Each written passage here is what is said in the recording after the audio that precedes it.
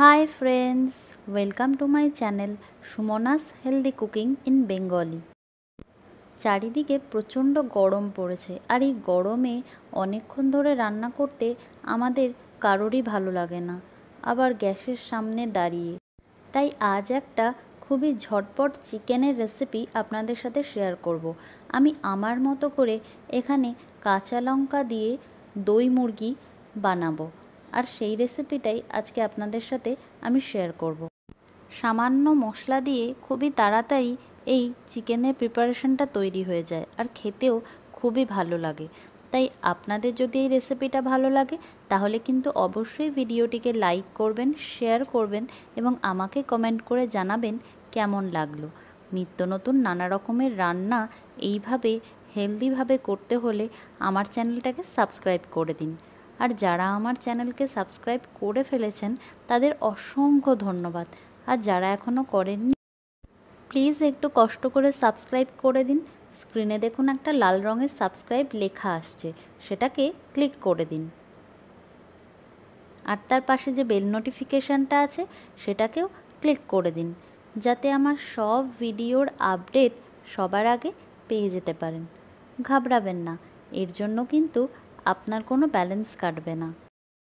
তো চলুন দেখে নিই, ঝটপট কাঁচা লঙ্কা দিয়ে দই মুরগি বানাতে আমাদের কি কি উপকরণ লাগবে।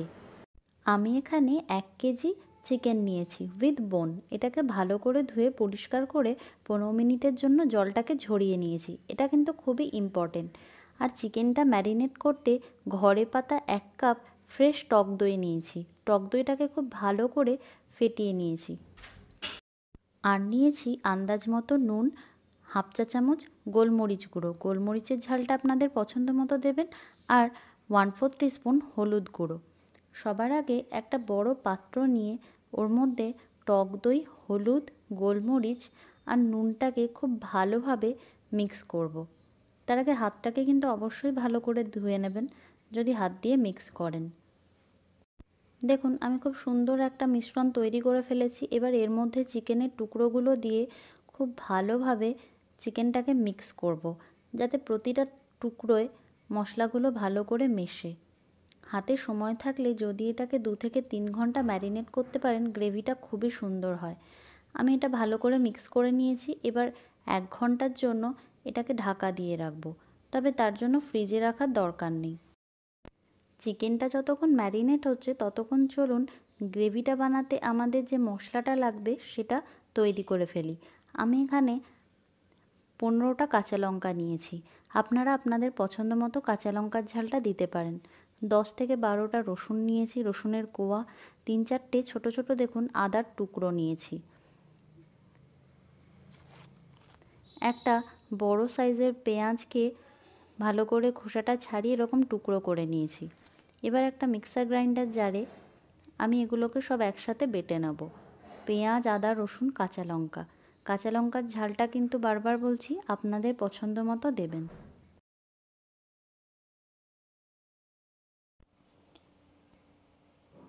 দেখুন, আমি এরকম একটা স্মুথ পেস্ট তৈরি করে নিয়েছি। এবার এটাকে একটা বাটিতে আমি নামিয়ে নেব। আর আমার লাগবে একটা বড় সাইজের পেঁয়াজ কুচো। পেঁয়াজটাকে ভালো করে ধুয়ে পরিষ্কার করে আমি এরকম লম্বা লম্বা করে কেটে নিয়েছি। Two tablespoon readymade biryani মশলা। এটা যে কোনো ব্র্যান্ডের বিরিয়ানি মশলা হলেই হবে। আন্দাজ মতো নুন নিয়েছি ওয়ান ফোর্থ স্পুন হলুদ গুঁড়ো নিয়েছি আর হাফ চা চামচ চিনি নিয়েছি। ফোড়নের জন্য নিয়েছি একটা তেজপাতা, দারচিনি, দু তিনটে লবঙ্গ আর চারটে এলাচ। দারচিনিটা দেখুন আমি, ছোট ছোট কয়েকটা টুকরো নিয়েছি। চিকেনটা আমি এক ঘণ্টা ম্যারিনেট করে নিয়েছি। তবে হাতে সময় থাকলে কিন্তু অবশ্যই একটু বেশি যদি রাখেন ভালো হবে। এবার গ্যাস অন করে ওতে আমি টু টেবিল স্পুন সাদা তেল দিলাম। তেলটাকে খুব ভালো করে গরম করব, মিডিয়াম ফ্লেমে। তেলটা গরম হয়ে গেছে, এবার এই স্টেজে আমি গোটা গরম মশলাটা ফোড়ন দেব। তেজপাতা, লবঙ্গ, এলাচ, দারচিনি। এলাচের মুখটা কিন্তু অবশ্যই ফাটিয়ে দেবেন, না তো তেল ছিটে আসার সম্ভাবনা থাকতে পারে। এক থেকে দু মিনিট একদম লো ফ্লেমে এটাকে একটু নাড়াচাড়া করব, সুন্দর গন্ধ বের হওয়া পর্যন্ত।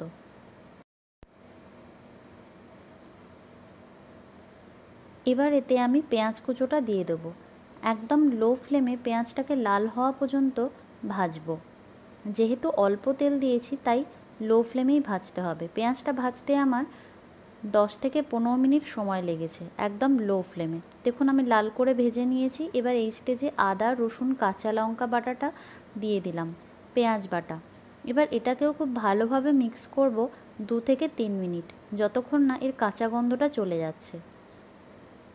দু থেকে তিন মিনিট হয়ে গেছে, এবার এতে আমি নুন, হলুদ আর চিনিটা দিলাম। চিনিটা অপশনাল আপনারা না চাইলে নাও দিতে পারেন। খুব ভালোভাবে মিক্স করব এবং এটাকে ভালো করে কষবো আরও দু মিনিট। ফ্লেমটা আমি লোই রেখেছি। এবার এই স্টেজে আমি ম্যারিনেট করা চিকেনটা দিয়ে দিলাম। এই সময় গ্যাসের ফ্লেমটা মিডিয়াম রাখবেন। মিডিয়াম ফ্লেমে চিকেনটাকে আমরা ভালো করে কষবো। পাঁচ মিনিট।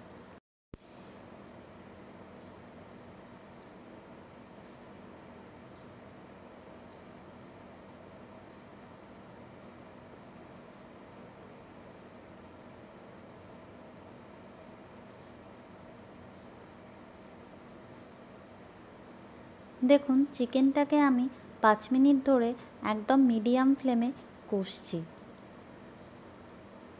আমি কিন্তু এখানে কোনো এক্সট্রা জল দেব না। চিকেন থেকেই যে জল বেরোবে, ওই জলেই চিকেনটা সুন্দর সেদ্ধ হয়ে যাবে। দেখুন, আস্তে আস্তে এটা থেকে কিন্তু জল বেরোচ্ছে।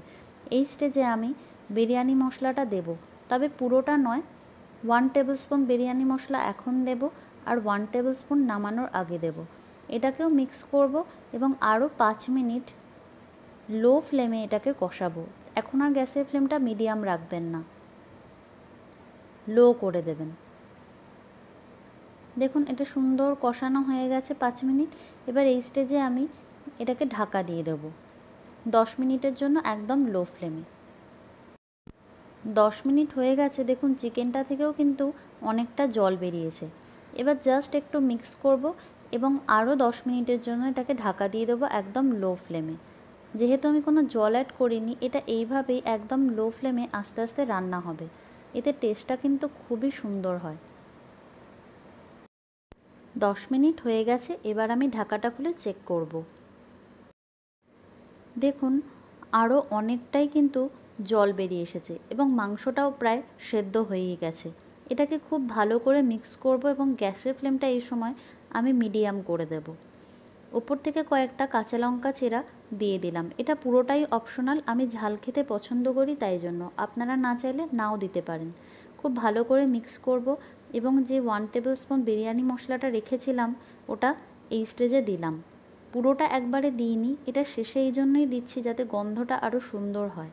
এবার জাস্ট পাঁচ মিনিটের জন্য এটাকে একটু ঢাকা দেব, যাতে লঙ্কা আর বিরিয়ানি মশলার গন্ধটাও সুন্দর মাংসর মধ্যে ঢুকে যায়।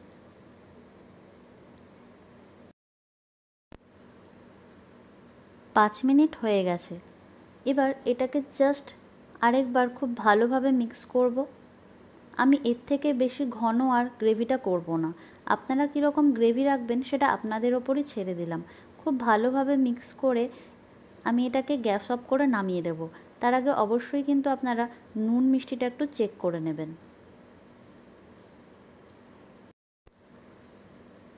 কাঁচা লঙ্কার দই মুরগি অথবা কাঁচা লঙ্কা দিয়ে দই chicken is ready to serve এটা গরম ভাতের সাথে কিংবা লুচি, পরোটা, রুটির সাথে অসাধারণ লাগে। যদি ভাতের সাথে খান, তবে সাথে এর যদি একটু গন্ধরাজ লেবু রাখেন, দারুণ লাগবে খেতে জাস্ট জমে যাবে। যদি ছোট বাচ্চা খায়, তাহলে কিন্তু অবশ্যই কাঁচা লঙ্কার ঝালটা কমিয়ে দেবেন। তাহলে দেখলেন তো কত সহজে এবং সামান্য কয়েকটা উপকরণ আর মশলা দিয়েই তৈরি হয়ে গেল। একদম টেস্টি টেস্টি দই চিকেন তাও কাঁচা লঙ্কা দিয়ে। আপনারাও বাড়িতে এইভাবে ট্রাই করুন এবং আমাকে কমেন্ট সেকশানে জানান আমার এই রেসিপিটা আপনাদের কেমন লাগল। আশা করছি ভালো লাগবে। ভালো খান, সুস্থ থাকুন। ধন্যবাদ।